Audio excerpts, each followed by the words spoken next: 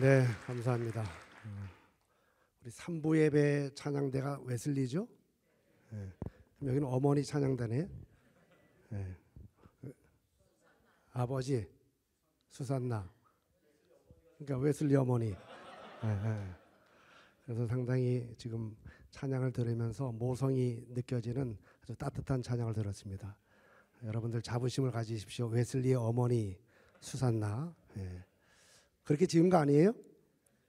네, 좋습니다. 그럼 뭐 제가 환영할 건 아니고 아, 이렇게 오후 예배 때에 참여하는 그 믿음은 보통 믿음이 아닙니다. 예, 우리 교회도 그렇고 어느 교회든지 가보면 오후 예배에 참여하는 그 신앙은 정말 보통 이상의 그 믿음을 가지신 분들인데 우리 옆 사람과 인사합니다. 나 이래봬도 보통 사람 아닙니다. 해보세요.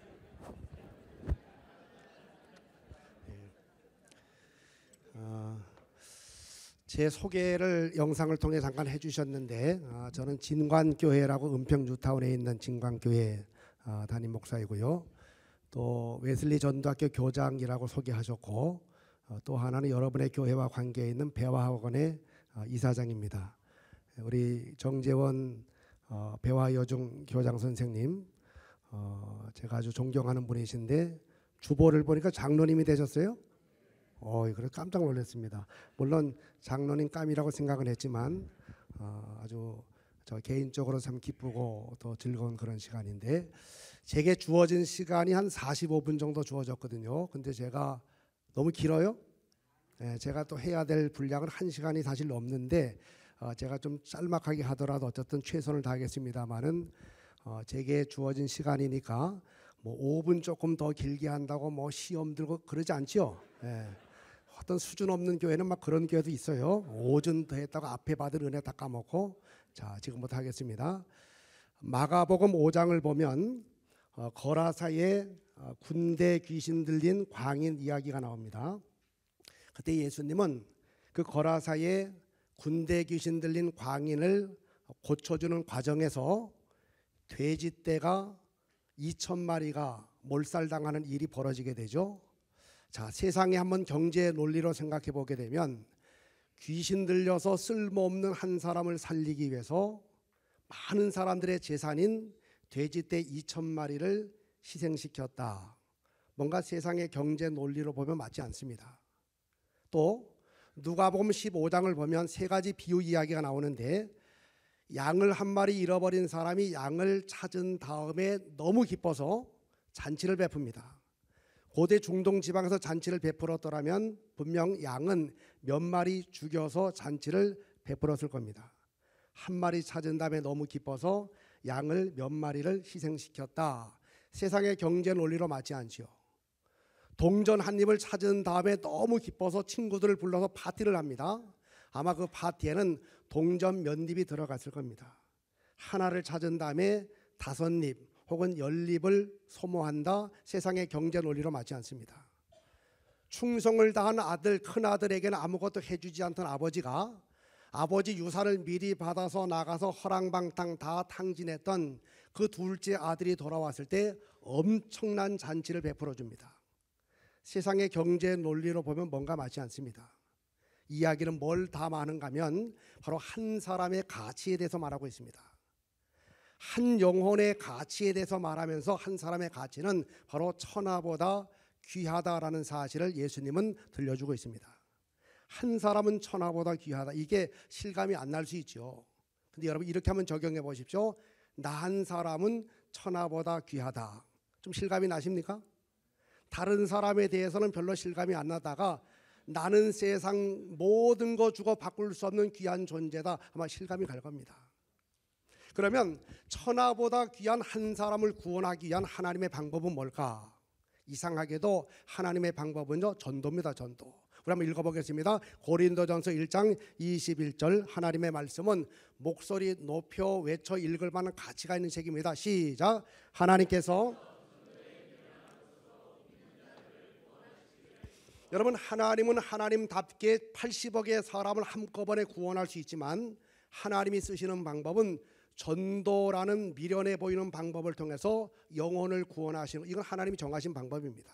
그렇다면 2024년도 여러분은 이런 목표를 한번 가져보십시오. 나는 한 사람을 전도하겠다. 한번 해봅니다. 시작. 한 사람을 여러분 뭐 세 사람 열 사람이 중요하지 않고 한 사람을 내가 전도하겠다라고 목표를 세워보는데 여러분 우리가 자기 정체성을 분명하게 아는 거 중요하지 않습니까?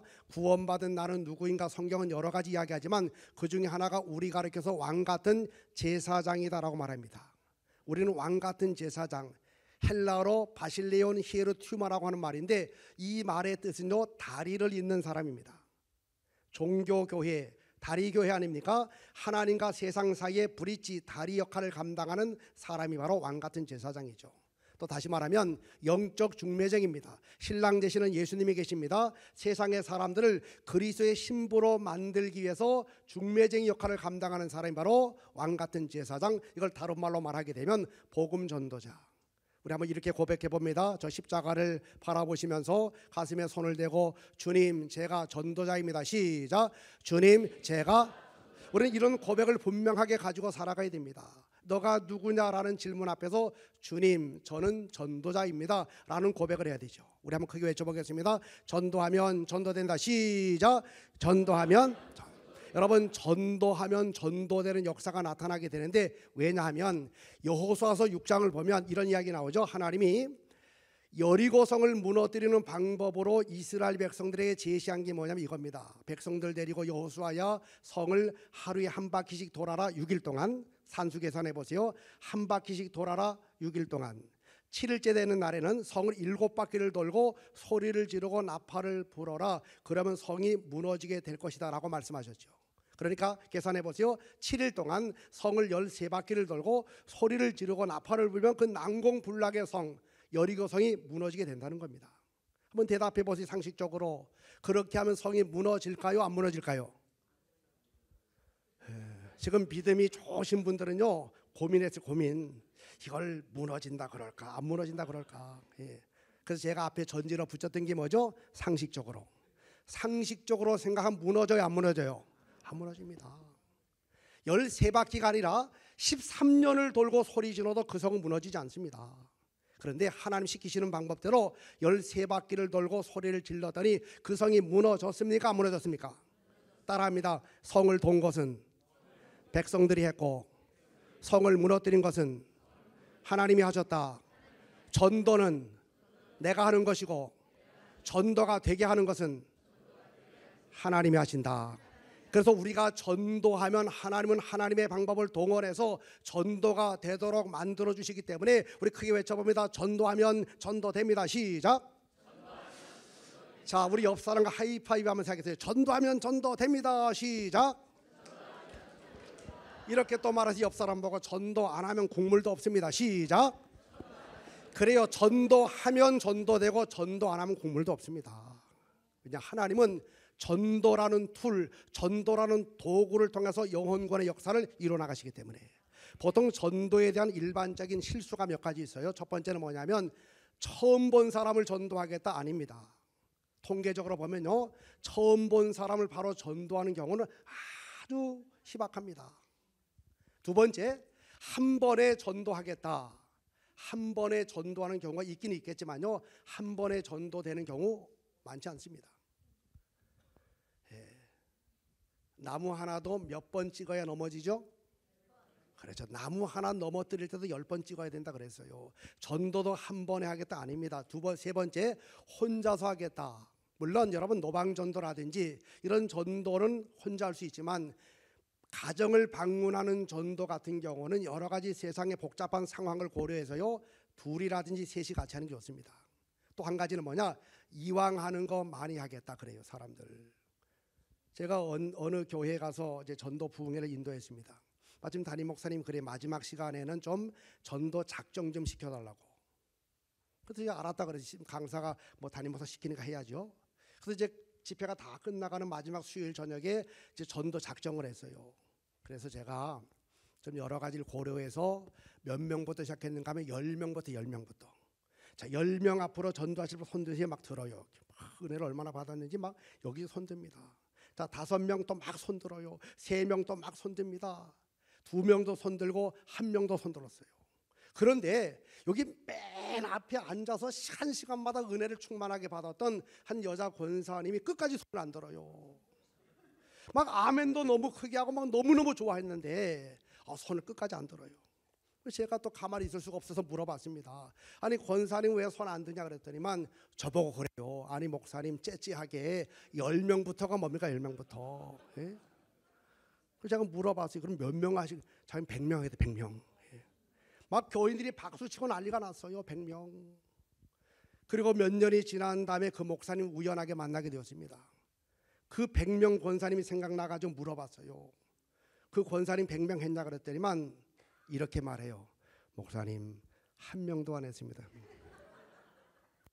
여러분 이왕 하는 거 많이 하겠다가 아니라 우리 크게 외쳐봅니다. 한 사람을 전도하자 시작. 그래요. 한 사람이 두 사람이 되는 거고 또 세 사람이 되는 거고 모든 전도는요 한 사람. 2024년도에 나는 더더 말고 한 사람만 전도하겠다. 우리 옆 사람과 인사합니다. 한 사람을 전도합시다. 시작. 그러면 한 사람 전도가 뭐냐 읽어보겠습니다. 시작. 전도 대상자를 작정한 뒤 집중적인 기도와 지속적인 관계 형성을 통해 그 한 사람을 하나님 앞으로 인도하는 전도가 바로 한 사람 전도예요. 포인트가 네 가지 있습니다. 전도 대상자를 작정하고 그리고 그를 위해서 계속 기도하게 되고 좋은 관계를 형성하는 거죠. 친구 따라 강남 간다라고 하는 말이죠. 친구 따라 좋은 친구 따라 교회 오는 겁니다. 관계를 형성하게 되고 될 때까지 계속해서 지속. 포인트 네 가지 읽어봅니다. 작정 시작. 작정, 기도, 관계, 지속. 자, 핵심 전략이 뭔가 우리 한번 읽어보겠습니다. 시작. 나의 주위에 있는 사람에게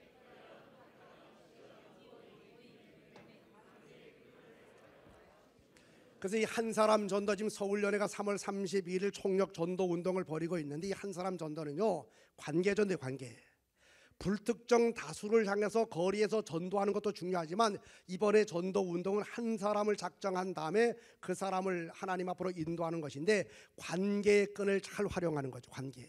아까도 말씀드렸지만 우리 한국 사람들은요 이 연 관계를 참 중요하게 여기죠. 혈연, 지연, 뭐 학연. 그래서 이 연. 그래서 어떤 관계라고 하는 게 굉장히 중요합니다. 어, 여러분 그렇죠? 저희 교회는 이제 새가족 이렇게 등록을 하면요, 우리 새가족 정착률이 굉장히 높습니다. 우리 진과 함께 아시는 분들은 아실 수 있을 거예요. 모르는 분들은 전혀 모를 수도 있겠지만 네, 저희는 2011년도, 12년도, 13년도 3년 연속해서 서울연에서 성장 최우수상을 받았던 교회가 우리 교회입니다. 뭐 아멘 안 해도 괜찮고 반응 없어서 상관없어요. 뭐 남의 교회인데 굳이 할 필요도 없지요. 예. 근데요 서울연의 역사에서 지금 3년 연속해서 교회 성장상 받은 교회는 없습니다. 그게 쉬운 게 아니거든요. 전년도 대비해서 입교인 또이 재정 비교해 가지고서 또 그만큼 퍼센트지 올라가야 되니까. 근데 우리가 전도도 물론 많이 했지만 그 기간 잘한 게 뭐냐? 지금도 잘하는 게 뭐냐? 정착의 정착. 우리 그때 한때는요 거의 95%입니다. 새 가족이 들어오면 거의 95%가 정착을 해요. 그 정착률을 높일 때에 가장 중요한 게 뭐냐면 관계 관계. 한 사람의 새신자가 교회에 들어왔을 때 윈안이라는 교회 성장자 이런 얘기를 했어요. 한 사람의 새신자가 들어왔을 때 주변에 친구 일곱 명만 만들어 주게 되면 그 사람 떠밀어도 교회 안 나간다 그랬습니다. 많은 사람이 교회에 왔다가 떠나는 이유 중에 하나는요 관계 관계. 예. 좋은 것 같은데 교회 전체가 나하고는 상관이 없을 때 그 사람들은 조용하게 교회를 떠나게 됩니다. 전도도 마찬가지죠. 관계의 끈을 활용해서 아까 말씀드린 것처럼 친구 따라 강남 가는 겁니다. 강남 갈 일도 없는데 친구가 간다니까 가는 거예요. 교회도 마찬가지입니다. 관계. 자, 성경적인 근거 오늘 본문을 보게 되면 한 모임 안에서 이 전도가 가능하죠. 그 다음에 가족 안에서도 이 전도 가능하고 한 동네 지역 안에서도 그리고 친구라는 관계 속에서 이 전도가 가능하죠. 나의 전도 영역은 나의 관계된 모든 것인데 자 지금부터 제가 주어진 시간 안에 한 사람 전도의 실제를 말씀을 드리는데 지금 2시 59분인데 몇 시까지가 제게 주어진 시간이었죠 아까? 3시 25분요? 어 그래요? 큰일 났네 어쨌든 뭐 조금 더 해도 되죠? 좋습니다. 여기서 조금은 제 마음대로 하는 게 조금이에요. 여러분 동의하셨어요? 자, 자, 첫 번째 뭐냐? 전도 대상자를 정하는 게 가장 중요해. 전도 대상자. 전도 대상자를 정할 때 이렇게 한번 생각해 봐서 내 주변에 있는 사람 중에 주변에 사람들이 많잖아요. 그 중에서 지옥 가면 안 되는 사람. 오늘 밤이라도 하나님이 부르시면 지옥 갈 사람들 분명히 있습니다. 우리 주변에. 내 식구들 중에서 내 친한 친구들 중에서 같은 동료들 중에서 예수 안 믿는 사람 있죠. 지옥 가서는 안 되는 그 사람을 정하는데 오스카 톰슨이라는 사람이 동심원을 통해서 이렇게 말하면 나를 중심으로 한번 찾아보라는 거죠. 가족 중에 예수 안 믿는 사람, 친인척 중에 예수 안 믿는 사람, 친구, 이웃, 모임, 직장 잘 아는 사람, 안면 있는 사람 등등해서 예수 안 믿는 사람은 쭉 적어보는 게 이렇게 적어보는 거. 근데 그 중에서요, 내가 한 사람을 이번에 정한 한 사람. 한 30명이 나왔는데 그 중에 한 사람, 정말 이 사람은 지옥 가면 안 된다. 너무 소중한 사람, 나의 가족일 수도 있죠. 내 남편, 아내일 수도 있습니다.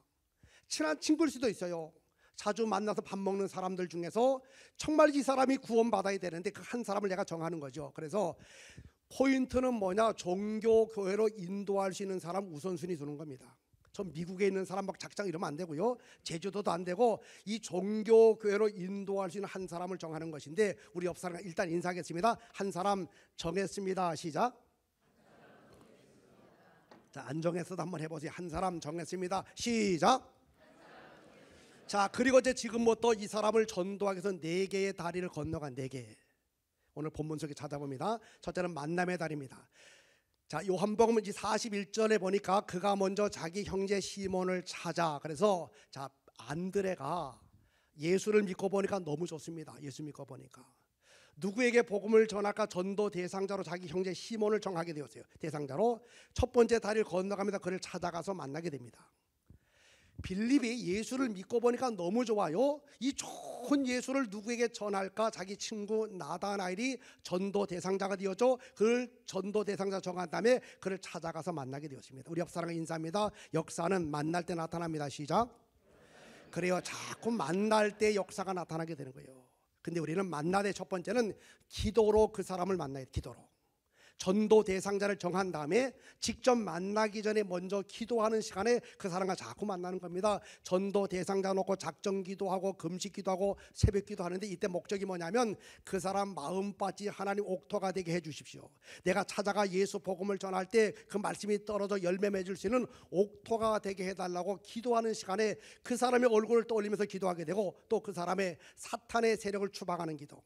전도 대상자 정하면요 사탄 마귀가 얼마나 역사하는지 모릅니다. 그리고 그가 성령님의 만져 주심을 위해서 성령이 아니고서는 예수를 그리스도로 영접하고 시인할 수 없으니 성령이 그 마음을 만져 달라고 기도하는 만큼 역사가 나타납니다. 시작 기도한 만큼 역사. 또 전도 대상자를 정한 다음에 기도하는 시간에 그 사람을 계속 만나는 겁니다. 그리고 이제 두 번째는 진짜로 그 사람 찾아가서 만나는 겁니다. 근데 우리가 찾아가 만날 때는 우리 한국 사람의 정서상 빈손보다는 뭘 하나 선물을 가지고 가는 게 훨씬 더 좋습니다. 작은 선물, 작은 것이 큰 것을 엽니다. 여러분 열쇠, 열쇠 아시죠? 열쇠. 영어로 뭐죠? 키. 또 열쇠 사투리를 뭐라 그러죠? 셋대, 셋달에 셋대. 예. 여러분 셋대, 열쇠, 키 같은 말이지만 다 작아요, 작아요. 작은 열쇠가 큰 문을 엽니다. 큰 집을 여는 것은 작은 열쇠. 그래서 우리가 사람과의 관계 속에서 그 마음의 문을 열기 위해서 작은 선물, 예를 들면요, 음식을 좀 만들어서 갖다 준다거나 혹은 반찬 만들어 갖다 주고 작은 선물을 좀 준비해서 갖다 주고 제가 시간만 많으면 좀 충분하게 설명할 텐데 시간이 쫓기니까 그냥 넘어가겠어요. 그 다음에 애경사 등등에 참여하면서 피로를 채워주게 되고 만나 차 한 잔 먹게 되고 식사 한번 하게 되고 이 모든 것의 목적은 뭐냐? 역시 그 사람의 마음밭을 옥토로 만드는 겁니다. 이때 중요한 것은요. 조건 없는 섬김으로 감동시키는 게 좋아요. 예를 들면 배추를 반 포기 만들어 가지고 갖다 주면서 애기 엄마 이거 먹고 내일부터 교회 나와야 돼 그러면요 김치가 맛이 없어요 맛이 없어요 예. 이때는 교회 얘기하지 말아야 됩니다 창립주일날 수건을 만들어줬어요 교회에서 그거 우리 교회는 집에 안 가져갑니다 자기 전도 대상자에게 찾아가 줘요 그때 그 수건 주면서도 이거 수건 받았으니까 다음부터 교회 나오라 그러면요 바로 그게 저 어디로 갈지도 몰라요 이때는 얘기 안 해야 돼요 근데 얘기 안 해도 다 압니다 왜 저분이 저 교회 다닌 저분이 나한테 이렇게 잘해줄까? 말을 안 해도 다 알아. 이때는 조건 없는 섬기로 감동시키고 두 번째 다리는 뭐냐? 말함 말함. 그래서 복음적인 만남 십자가 예수를 말하는데 자 41절 같이 읽어 보실까요? 시작. 그가 먼저 자기의 형제 시몬을 찾아 말하되 우리가 메시아를 만났다고 메시아는 번역하면 그래. 그래서 이제 보십시오. 안드레가 어느 날 예수를 믿고 보니까 너무 좋아요. 너무. 이 좋은 예수를 누구에게 전하지? 전도 대상자 자기 형제 시몬이 떠올랐습니다. 전도 대상자 작정했어요.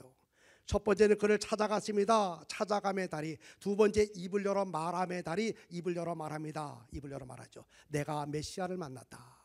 빌립도 마찬가지입니다. 나다나엘을 찾아가게 되죠. 그리고 입을 열어서 말합니다. 내가 요셉의 아들 나사렛 예수를 만났다라고 말합니다. 우리는요 당당하게 말해야 됩니다. 누구를요? 복음 예수를 시작. 복음 예수 그리스도를 당당하게 말하세요. 예. 여러분 쭈삣쭈삣하게 하지 말고 우리는 당당하게 당당하게. 자, 이 초코파이 초코파이. 우리 부목사 중에 한 분이 지금 미국 UMC가 있는데 가기 전에 우리 전도 담당 목사였는데 제가 그랬어요. 전 목사 가서 좀 초코파이 하나 찍어오라 했어요. 사갖고 와가지고 찍어 왔는데 아, 내가 봐도 잘 모르겠어요. 그래서 안 되겠다. 그 위에 뜯었던 봉투 같이 해서 찍어오라 이렇게 찍어 왔어요. 초코파이. 왜 갑자기 초코파이가 등장하게 되었을까? 여러분 과자 나라에서 초코파이가 왕이래 왕 대장. 과자 나라의 대통령 왕이 바로 초코파이 초코파이. 일단 생김새 보세요. 시커멓게 생겼죠. 뜯으면요 근육질 쫙돼 이렇게. 과자 나라 1인자 1인자. 그런데 이상한 일이 벌어져요. 이 초코파이가 과자 나라의 대통령 1인자인데 과자 중에 칸초라고 해요. 칸초 조그마한 거. 칸초 개들만 보면 그냥 맥을 못 추고 막 도망쳐요. 이 초코파이가. 어느 날 새우깡이 그랬습니다. 초코파이 대왕이시여 당신은 우리나라의 1인자 왕인데 왜 그 조그만 애들 칸초만 보면 그렇게 맥을 못 추고 도망치십니까? 그랬더니 초코파이 그러더래요. 얘야 얘 새우깡아 너 몰라서 그러는데 칸초 개들 모양은 작아도 웃통 벗으면 그 몸에 문신 있어 문신. 예. 그래가지고 이 칸초만 나타나면 도망친대요. 제가 어, 전에 유성지방 대전 유성지방 연합성회를 간 적이 있습니다. 저를 호텔을 잡아주는데 계룡 스파텔이라고 군인들 휴양소를 이제 계룡 스파텔 거길 잡아줘요. 아마 군에 관계된 누가 있었는지 그러면서 여기가 시설은 조금 낙후가 되었지만 제일 좋은 게 뭐냐 원탕이래 원탕. 이 유성 온천 온천의 원탕이라서 물이 제일 좋대요 거기가. 시간 날 때마다 지하에 가면 대온천탕이 있는데 그건 무료가 되니까 하라 그래 저한테. 그래서 제가 화요일 날인가 수요일 날인가 새벽기도 갔다 와가지고 제가 지하에 내려갔어요. 그 이른 새벽이다 보니까 사람들이 별로 없습니다. 그래서 이제 탕 안에 이렇게 들어가 있는데 뭐 물이 좋다 그러니까 좋게 느껴지는 거죠. 어떻든 간에요.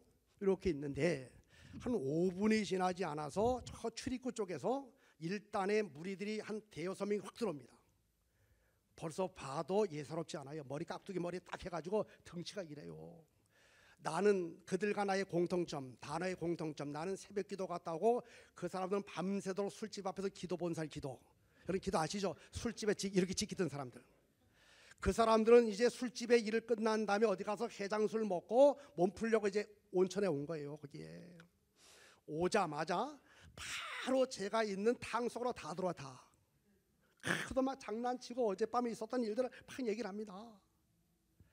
근데요 그 다섯 명 모두 몸에 문신이 있어요 문신이 호랑이 문신에 뭐 별별 문신 다 있습니다.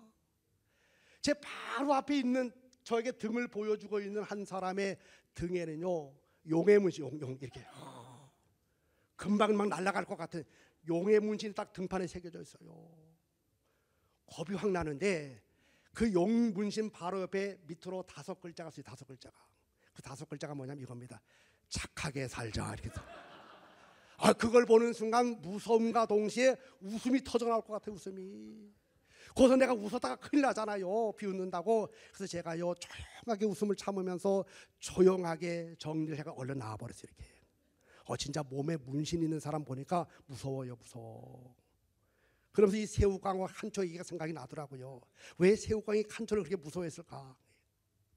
여러분 이, 이 바울이 복음을 전할 때요 아그리빠 왕 앞에서도 복음을 전하고 베스도 총독 앞에서도 복음을 전하게 되었을 때 바울이 얼마나 당당했는지 모릅니다. 내가 믿는 예수를 믿으라고 나를 본받으라고 하면서 얼마나 당당하게 예수를 전했는지 이유가 뭘까? 바울은 말합니다. 갈라데 6장 17절 읽어볼까요? 시작. 이후로는 누구든지 나를 괴롭게 하지 말라. 내가 내 몸에 예수의 흔적을 지니고 있노라. 예수의 문신 정도가 아닙니다. 바로 예수가 내 안에 거하시게 되고 바로 나와 함께 하신다는 확신을 가지게 되었을 때 그는요. 바로 만왕의 왕이 되시고 세상을 이기신 예수 그리스도 온 우주의 정복자가 되시는 예수를 당당하게 복음을 전하게 되었는데 우리 옆 사람과 인사합니다. 당당하게 복음을 전합시다. 시작. 차태진을 벤치마킹하라라고 하는 책이 있습니다. 이 책을 보면 이 차태진이라고 하는 사람이 한국 푸르덴셜 생명보험 주식회사에서 3년 연속해서 보험 세일즈 전국왕을 차지한 사람입니다. 그가 그 책에서요. 3년 연속해서 보험 세일즈 왕이 된 비결 두 가지를 말합니다. 첫 번째는 이겁니다. 누구에게나 내가 가진 보험 상품은 필요하다. 누구에게나. 잘 살든 못 살든 어린아이든 노인이든 내가 가진 보험 상품은 다 필요하다는 확신. 두 번째 파는 만큼 내게 유익함이 찾. 이 두 가지 확신을 가지고 했대요. 여러분 우리도 엄밀하게 말하면 보험 상품을 가지고 나가서 나가는 세일자는 사람 아닙니까? 우리의 보험은 뭐죠? 천국 종합보험 예수 그리스도 얼마나 좋은지 모릅니다. 이 보험은요 납입금이 없어요 납입금. 예. 보장은 10년 20년 아닙니다. 이 세상에서부터 영원까지. 우리 천국 종합보험 예수 그리스도를 전할 때 두 가지 확신을 가지고 나가세요. 첫째로 이 세상에 예수가 필요 없는 사람은 아무도 없다. 잘 살든 못 살든 똑똑하든 똑똑하지 않든 모든 사람에게 다 예수가 필요하다 확신을 가지고 나가게 되고 전하는 만큼 내게 유익함이 찾아온다. 열매에 상관없이 내가 전하는 만큼 내게 유익함이 찾아온다. 라는 확신을 가지고 당당하게 예수 복음 전하시는 여러분들 되시기를 간절히 축원합니다. 우리 옆 사람과 인사합니다. 당당하게 전합시다. 시작. 특별히 여러분 예수님의 십자가에는요 사피가 있어요 사피. 예수 십자가에는. 사피 어떤 분은 그러죠? 고수도부에서 말하는 피 네장 쌍피 두장 맞아요. 면피의 지름길. 무슨 얘기냐? 예수 십자가 속에는 피자로 시작이 되는 네 가지 피죠 네 가지 피 첫째는 뭐냐? 파던 사죄의 은혜. 누구든지 예수 보혈의 십자가 의지하기만 하면 어떤 죄라도 다 사함받는 사죄의 은혜가 예수 십자가 속에 있고요. 두 번째 예수님 십자가 속에는 평안한 불안에 떨던 사람도 예수 십자가 붙들기만 하면 평화의 주님을 노래하는 삶으로 바뀌어지게 됩니다. 세 번째 목적이 분명한 삶을 살아갑니다. 이리 갈까 저리 갈까 아니면 차라리 돌아서 갈까 방하도 인생을 살던 사람도 예수 십자가 의지하기만 하면 표대를 향하여 천국을 향해 당당히 나가게 되죠. 제가 제천 동부교에서 부목사를 4년 정도 한 적이 있습니다. 안수를 받고 4월 달에 안수를 받고 제가 이제 7월 달에 그 교회로 어, 부목사로 가게 되었습니다. 그 담임 목사님이 이제 제 친구 아버지였었는데 제가 서리 전도사 시작할 때부터 저를 찍어뒀어요. 이렇게 너는 안수 받으면 꼭 와야 된다. 그래서 다른 데 가고 싶었는데 그냥 4년을 기다려 주셨기 때문에 제가 갔습니다. 부임하고 부목사 부임하고 두 달이 채 되지 않았는데 오건사님이라고 하는 분이 급한 목소리를 제게 전화를 하셨어요. 목사님 큰일 났습니다. 왜요? 그분이 작은 공장 하나 운영하고 있었는데 우리 공장의 여직원이요 지금 귀신이 들려가지고 난동을 피우는데 망치 들고 지금 유리창 다 깨고 있고요. 남자 직원 막 네다섯 명이 달라붙어가지고 제압을 하면요 으라차차면 다 나고 떨어진대요. 지금 그 오른손에 망치들과 막 휘둘러 대고 있는데 빨리 목사님 와달라고 저보고. 이거 큰일 났어요 큰일. 제가. 왜냐하면 제가 그때까지 귀신의 정체 귀신을 이기는 전략 방법 다 알아요 제가. 근데 이론으로는 확실하게 아는데 한 번도 그때까지 실전의 경험이 없어요 제가. 다시 말하면 귀신과 맞짱 떠본 적이 없습니다. 배운 건 다 배웠는데 그때 그 권사님은 무슨 생각했는가 하면 제가 부목사니까 목사니까 당연히 그쪽에 선수인 줄 알고 저보고 빨리 와달래요. 사실 그때 그분이요 망치 얘기만 안 해서 제가 갈라했었어요. 예. 아 근데 망치 들고 막 휘둘른다. 이거 잘못 갔다가 망치 얻어 맞으면 내가 어떻게 될까 이 생각하니까 두려워가지고 못 가겠어요. 그러니까 이제 안 갈 수도 없고 오라니까 목사 체면에 또 가자니 그 망치가 앞에서 왔다 갔다 하게 되고 예. 짧지만 제가 기도해서 기도. 하나님 이때 어떻게 됩니까?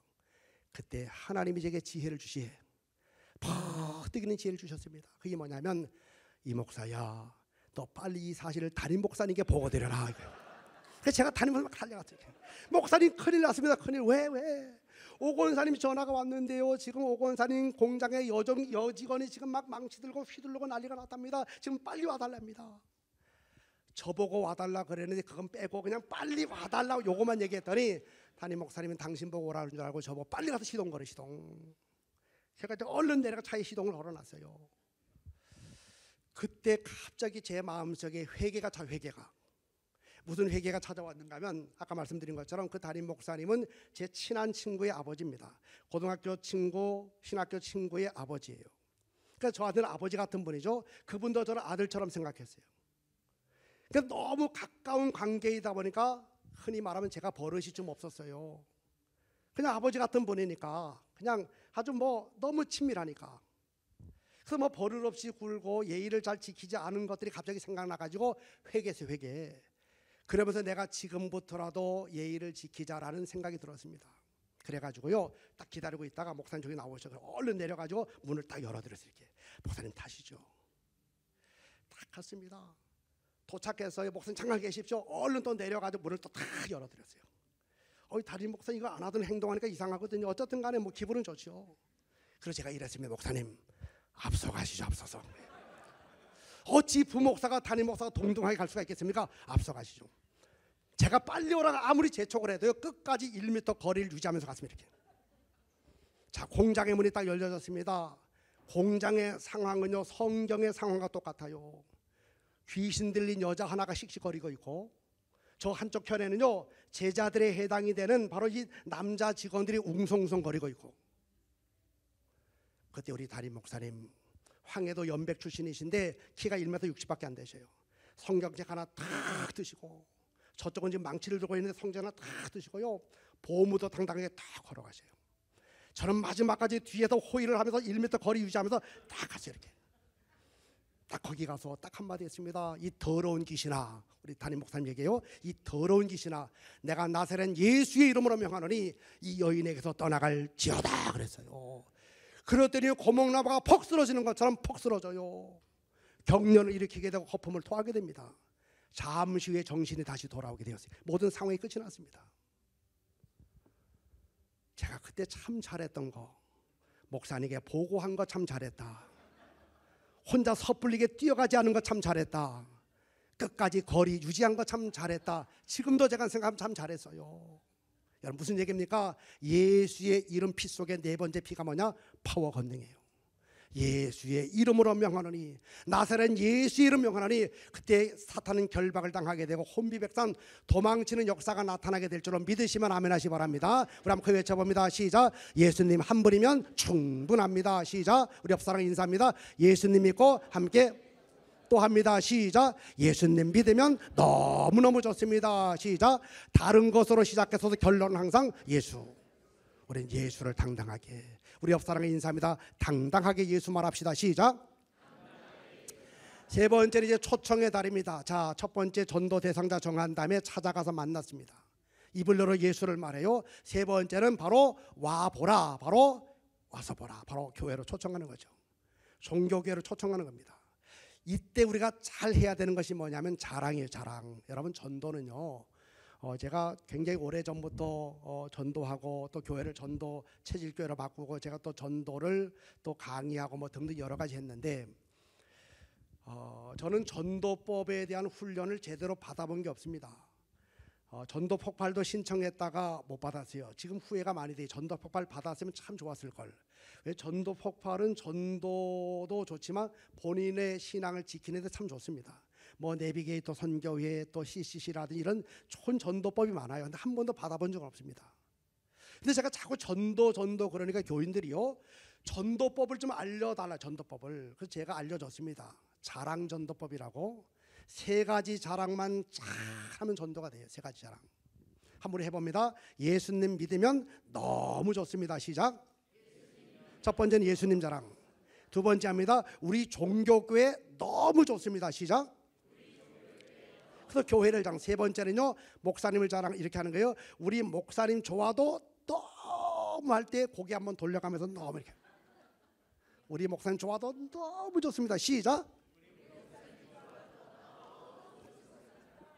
세 가지 자랑만 잘해도 전도가 세 가지 자랑. 다시 해보면 예수님 믿으면 너무 좋습니다. 시작. 또 합니다. 우리 종교교회 너무 행복합니다.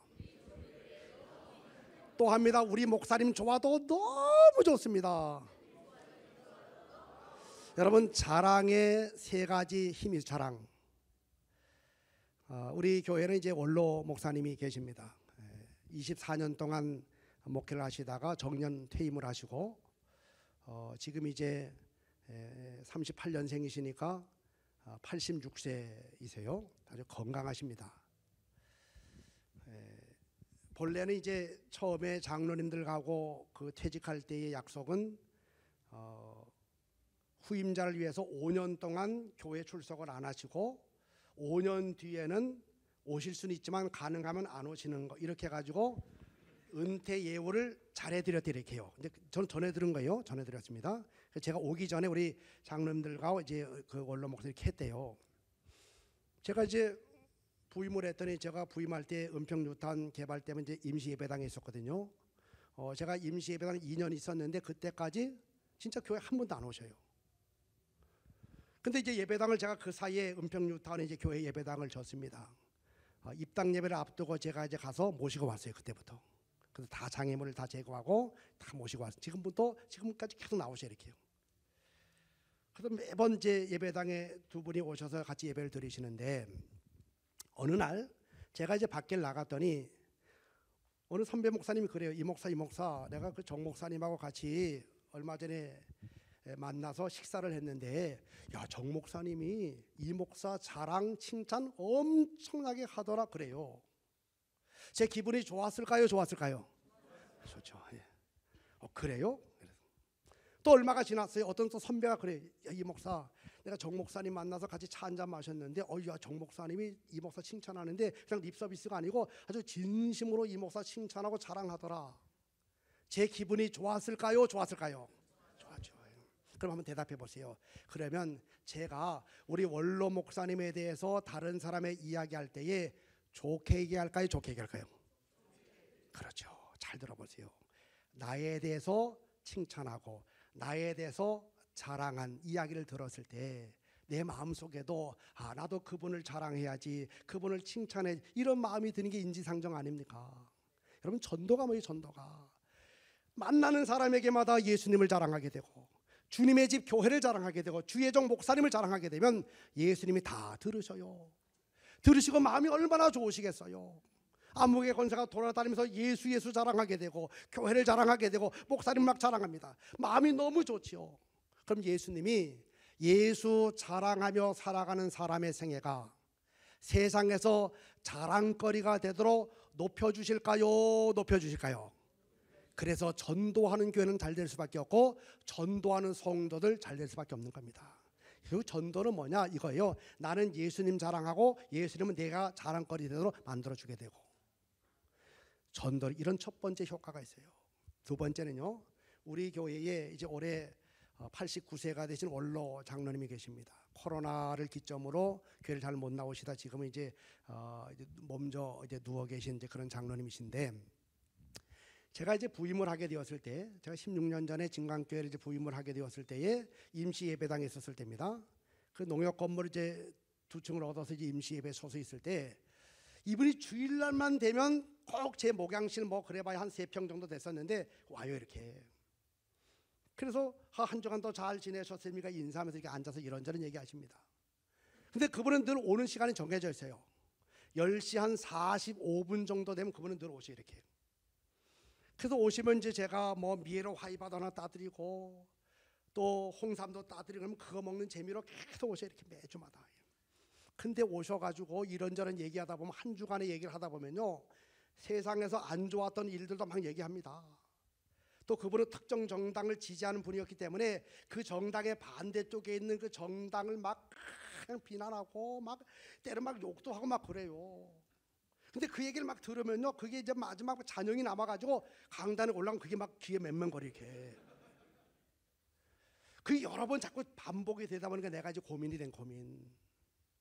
이 11시 예배가 이제 우리도 가장 중요한 그 3부 예배 가장 중요한 시간인데 자꾸 이제 그런 얘기 바로 듣고 강단에 올라가니까 좀 안 좋아요. 그래서 제가 생각하는 거죠. 이거 어떻게 하지? 이분이 늘 10시 45분에 오니까 아예 10시 44분에 문을 걸어 채울까? 뭐 이런 생각도 해보게 되고 오지 마시라고 얘기할까? 이것도 한번 생각해 보고 43분쯤 아예 강단에 올라가 버릴까? 뭐 이런 생각했습니다. 그러다가 다 야속한 것 같아서 그래서 아버지 같은 분이 담임 목사에게 인사하겠다고 오시는데 그래서 제가 마음을 바꿨어요. 그래서 뭐 이런 얘기하면 저는 다 받아줬습니다. 어느 날 제 방에 들어오시는데요. 얼굴이 달덩이처럼 환한 얼굴, 환한 얼굴. 와가지고 입을 열자마자 손주 자랑하는데 손주. 목사님 우리 손주가 미국 시카고에 사는 거 아시죠? 알지요? 그 손주가 얼마 전에요. 국민학교 졸업할 때 상을 받았는데 글쎄 대통령 오바마 상을 받 오바마 상을 받았대요. 그래서 제가 깜짝 놀랐어요. 아니 대통령 상을 받았다. 그렇대요. 아, 축하드린다고. 그래서 화제가 또 다른 데 넘어가는데 조금 또 그래요. 우리 손주가 가문의 영광이라고 오바마 상을 받았다고. 어 그래요 하면서 또 축하 막 했어요. 또 다른 화제를 가지고 가는데 또 그래 또 우리 손주가 이게 세상에 있을 일입니까 하면서 막 눈물을 글썽글썽하면서 오바마 대통령상을 받았다고. 제가 그래서 그래서 장로에 있다가 광고할까요 광고? 그랬더니 아 그건 아니고 목사님만 아시라고 제가 얘기하는 거라고. 조금 지나니까 웬만한 사람 다 알아요. 하도 만나는 사람에게마다 오바마 오바마 해가지고. 그리고 제가 얼마 뒤에 시카고 지방 연합 성회를 갔습니다. 그래서 저녁에 이제 평신도 성회하고 낮에 목회자 세미나 할 때 잠깐 티타임이 되어가지고 제가 그게 생각나가지고 이제 시카고 그쪽 어디 산다 그러니까 제가 얘기를 했어요. 우리 원로 장로님의 손주가 이쪽 어디 사는데 얼마 전에요. 국민학교 졸업하는데 오바마 대통령상을 받아도 막 자랑했어요. 근데 표정이 별로의 표정이. 근데 나는 내가 발음을 좀 희연차게 해서 해가지고 발음을 조금 돌려서 오바마 대통령상을 받았다고. 근데도 별로예요, 별로. 전문용어로 이번에는 이빨이 돌려가지고 오바마 대통령상. 근데 선교부 총괄 저를 툭툭 치면서 그래 목사님 목사님 목사님이 미국을 잘 몰라서 그러시는데요. 미국에서는요 대통령상 웬만하면 다 받습니다 그래요. 어 제가 얼마나 무한한지 웬만하면 다 받는데요. 어 그래요? 내가 미국 사람 아니니까 미국에 안 사는 모르잖아요. 이제 그리고 이제 LA로 옮겨서 그것도 연합성에 했습니다. 제 호텔로 이제 와서 저를 아이들 하는 이제 목사님이 계셨어요. 그 목사님하고 이제 차를 타고 가다가 그 얘기를 했어요. 아니 미국에서는 그 대통령상 웬만하면 다 봤습니다. 그랬더니 그럼 미국 오래 사신 분인데 아, 목사님 정확하게 말하면요. 웬만하면 다 받는 건 아닙니다. 우- 자기 아들도 받으셨대요. 받았는데 웬만하면 다 받는 건 아니고 한국만큼 까다롭진 않고 미국은 어렸을 때부터 아이들 이 프라우드를 좀 심어주기 위해 가지고요 학교마다 이렇게 배분을 준대 이렇게 좀 우수한 학생들은 대통령상을 준대 이렇게. 근데 웬만하면 다 받는 건 아니대요. 예. 이제 제가 이제 정확하게 알았죠. 한국이 왔어요. 주일날이 되었습니다. 그 장로님 이제 옷으로 오셔 이렇게 목사님 집회 잘 다녀오셨습니까? 예, 앉으시죠. 하나 따드려서 이건 못 드셔요. 장로님 그런 데 있잖아요. 이번에 미국 가서 들었는데 그 장로님 손주가 받았다는 그 대통령상 있잖아요. 그거 오바마 대통령상 그거요 웬만하면 다 받는답니다. 그 얘기 했을까요? 안 했을까요? 안 했어요. 안 했어요. 예. 왜냐? 그때 그 손주 자랑하면서 너무너무 기뻐하셨던 그 장로님 얼굴이 생각나가지고 여러분 저도 얘기 안 했으니까 여러분도 얘기하지 마세요 그거요. 예. 음. 여러분 내게 뭔가 자랑 거지가 있을 때 그 본인이 얼마나 행복한지 모릅니다. 하물며 온 우주의 구세주가 되시는 예수가 내 안에 계시고 나의 구세주가 되신다. 이거 자랑거리 아닙니까? 이런 예수를 모시고 살아가는 여러분들은요 행복해야 되고 그 예수를 어디든지 자랑하고 싶어 가지고 안달이 나는 그런 사람이 되어서 입을 열면 예수 예수를 말함으로 여러분이 먼저 행복하게 되시기를 주의 이름으로 간절히 축원합니다. 또 한 가지 자랑의 위력 말씀드릴게요. 이제 거의 끝나가요. 이런 얘기 있습니다. 우리 사람이요 사람이 인생을 살아가다 보면 어려움을 당할 때가 있잖아요. 어려움을 당하게 되면 사람은 종교적인 심정을 가지고 있기 때문에 한두 번쯤은 종교에 대해서 생각 종교 여기 종교교회가 아니라 종교를 한번 가져볼까 생각해야 죠. 그때 그 사람 마음 속에 종교를 한번 가져볼까 교회를 한번 나가볼까라는 생각을 가질 때 결정적으로 영향을 끼치는 게 한 가지가 있대요. 그게 뭐냐면 이 마음 속에 가지고 있는 어느 종교 혹은 어느 교회에 대한 막연한 호감도, 막연한 호감도가 결정적인 역할을 한다고 사회과학적으로 분석이 되었습니다. 이런 얘기입니다. 그럼 막연한 호감도 어떻게 형성이 되느냐 이런 거예요. 자 전도 대상자를 만나 가지고 자 교회 자랑 교회 아, 우리 종교계 너무 좋아. 그럼 상대방이 어 그래 어, 좋은 교회네. 또 만났어요 두 번째 아, 우리 종교계 요즘 너무 신바람 나. 그분도 같이 맞장구 쳐주면서 어유 좋겠어 좋은 교회 다녀가지고 세 번째 만났어요. 아, 우리 종교계 너무 좋다 그러면 이제 그때부터 그 사람이 식구뚱해요 이렇게. 예. 아, 그 지난번에 얘기했잖아. 식분뚱해요. 그럼 대부분의 사람은 여기서 더 이상 얘기 안 합니다. 근데 또 만났어 또. 네 번째 또 얘기 네 번째. 그럼 이 사람은 화를 내요. 아, 그거 벌써 몇 번째 얘기했어. 그만 좀 얘기해. 그래도 또 얘기해 또 다섯 번째. 그럼 막 화를 버럭버럭 내요. 여기까지 가는 사람 거의 없대요. 근데 또 여섯 번째 만났어요. 아, 우리 종교계 너무 좋다고. 막 상을 치면서요. 벌써 백번더더 얘기했다. 막 그러면 막 싫어해요, 너무. 그래도 또 일곱 번째, 여덟 번째, 그래서 일곱 번의 고배를 넘어가고 여덟 번째까지 이야기하게 되면요, 그 사람이 겉으로는 화를 막 내지만 이 마음 속으로는요 막연한 호감도가 딱 생긴다 이렇게. 나한테 저렇게 핀잔을 듣고 저렇게 핍박을 받으면서도 저 종교계 종교계 이야기하는 거 보니까 아마 그 교회가 좋은 교회인 것 같다라고 하게 되는 막연한 호감도가 이 속에 자리 잡는 이렇게. 자, 전도 대상자 만났어요. 목사님 자랑. 우리 이번에 새로 오신 전창희 목사님 너무 좋다 그러면요 그 상대방이 어유 좋겠다고 주세요 좋은 목사 모셔가지고 두 번째 만나세요. 아, 우리 전창희 목사 설교도 잘하시고 너무 좋다 너무 좋다 막 같이 방언을 해요. 세 번째 얘기하면 약간 시큰둥하게 나와요. 예? 아니면 목사님 뭐 거기밖에 없어 뭐 이렇게 나와요. 그럼 대부분 이제 아 이 사람 싫어하는 거라서 안 해요 근데 그걸 뚫고 네 번, 다섯 번, 여섯 번, 일곱 번, 여덟 번까지 하면 그 사람이 화를 막 내면서도요 속으로 무슨 생각하는가 하면 전창희 목사님이라고 하는 분 만난 적이 없지만 저렇게 저렇게 자랑하는 거 보니까 아마 예수님 사촌 동생 되는가 보다 막연한 호감도가 딱 자리 이렇게 잡네요. 이게 잡는 얘기예요. 그러다가 인생의 어려움을 딱 만나게 되었을 때 나도 한번 교회를 나가 볼까? 이 생각이 딱 드는 순간 제일 먼저 떠오르는 교회가 어느 교회일까요? 그렇죠. 종교교회요. 제일 먼저 떠오르는 목사님이 어느 목사님이십니까? 그렇죠. 예. 이게 자랑의 효과의 자랑. 그래서 여러분 우리 옆 사람과 인사합니다. 입 놀리지 말고 자랑이나 열심히 합시다. 시작. 그래요. 입 놀리지 말고 자랑이나 열심히 하세요. 교회 자랑, 예수님 자랑, 또 목회자 자랑하고 장로님 자랑하게 되고. 그래서 우리가 이제 적극적으로 마지막 기대입니다. 기대. 자 42절 읽어봅니다. 시작. 데리고 예수께로 오니 예수께서 보시고 이르시되 내가 요한의 아들 시몬이니 장차 개발하리라. 개발은 번역가. 그래서 지금은 그렇지만 장차 바로 기대. 지금은 생고구마 같지만 반드시 저 사람 나올 것이다. 기대 기대. 절대로 포기하지 마세요 포기. 자 이제 정리하겠습니다. 자 전도 대상자를 우리가 제일 중요한 것은 정하는 거죠. 한 사람. 그 외쳐보면 이제 정리하는 거니까 한 사람 정했습니다. 시작 자, 그리고 이제 첫 번째 다리 건너간 만남의 다리. 먼저 기도로 만나고 직접 찾아가서 만나는 겁니다. 두 번째는 뭐죠? 입을 열어 예수를 당당하게 말하세요. 세 번째는 뭡니까? 자꾸 교회로 초청하십시오. 3월 31일까지 우리 교회라고. 그때까지 초청한다고. 그리고 기대하세요, 기대. 반드시 올 거야. 그런데 안 와요, 안 와. 그럼 포기하지 말고 또 그 사람을 또 찾아가서 만나세요. 또 예수 말하세요, 예수. 또 초청하세요. 저 맥주 감사 주일 아니면 뭐 언제까지 6월 말까지 그리고 또 기대하세요. 그런데도 또 안 나왔네요. 그럼 이번에도 또 돌고 돌아서 또 만나러 가십시오. 또 이번에도 돌리고 돌려가지고 또 예수를 말하세요. 또 초청하고 또 기대하게 되고 언제까지 시작 한 사람이 주께로 돌아올 때까지. 여러분 전도에는 절대로 실패가 없습니다.